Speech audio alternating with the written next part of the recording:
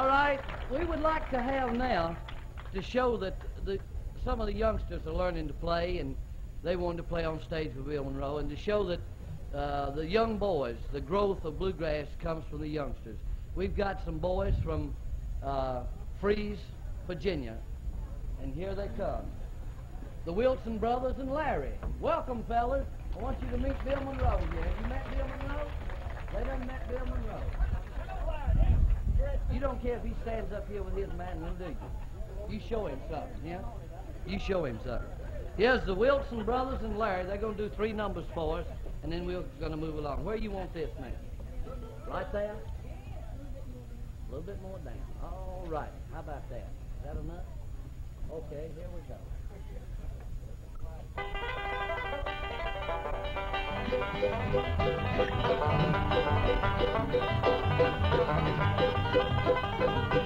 Right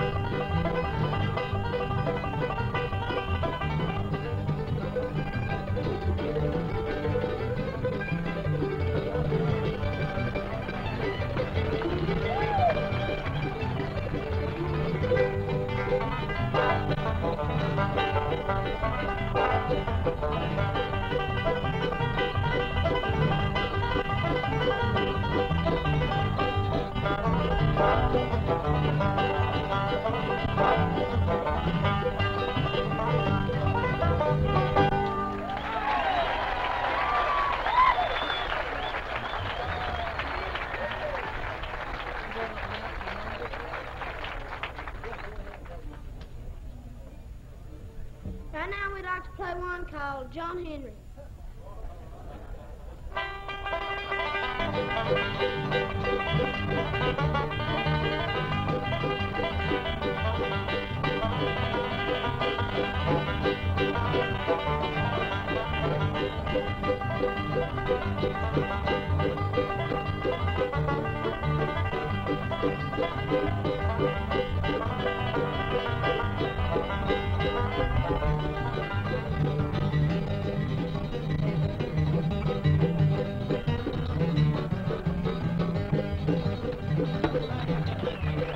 Yeah.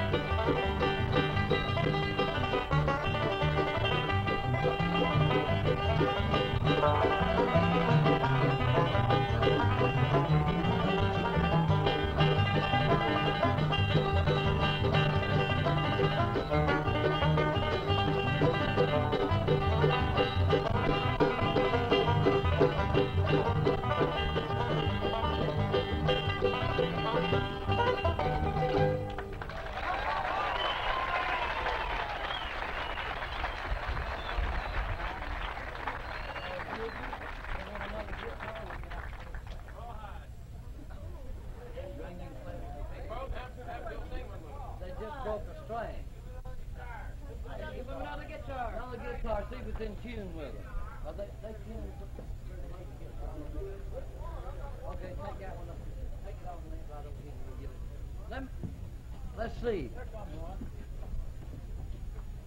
If this one's in tune with it.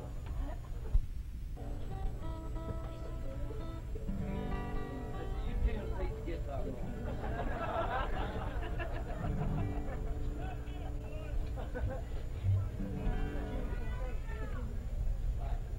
Right now we'd like to sing one called The Cuckoo Bird.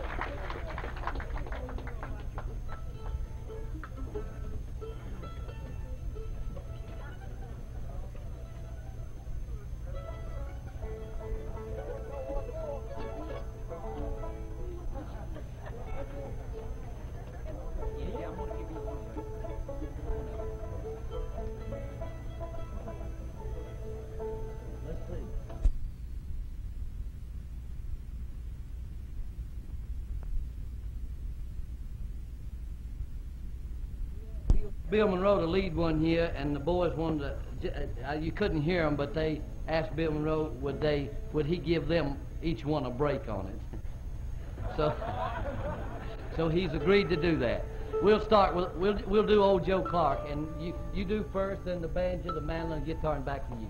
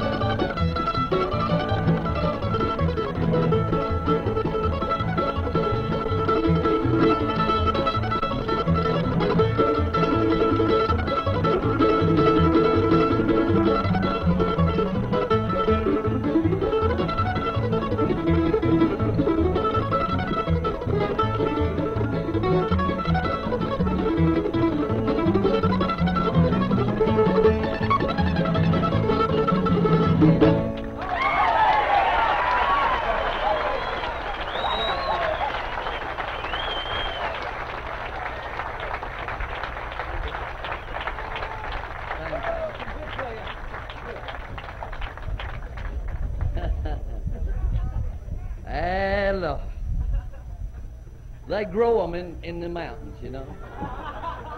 They give you a bottle and an instrument, and you learn to work on both. Most time the instrument wins out. A bottle with a nipple on it. Not, well, down in the mountains they give you the other kind too, because except the mouth of it's a little bigger, you know, the fruit jar type.